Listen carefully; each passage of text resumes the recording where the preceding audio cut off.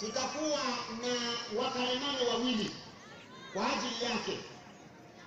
Yeye atatumia lugha ya Kiingereza kama kawaida, mtafsiri wake kwa lugha ya Kiswahili ni ndugu Yusuf, alafu mtafsiri wa lugha ya Kinyarwanda ni ndugu Karaha.